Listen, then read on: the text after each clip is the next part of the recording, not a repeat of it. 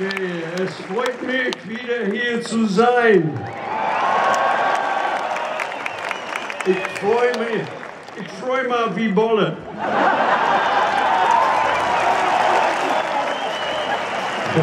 anyway, listen, we're going to have a great time here tonight, and uh, we're going to have a party.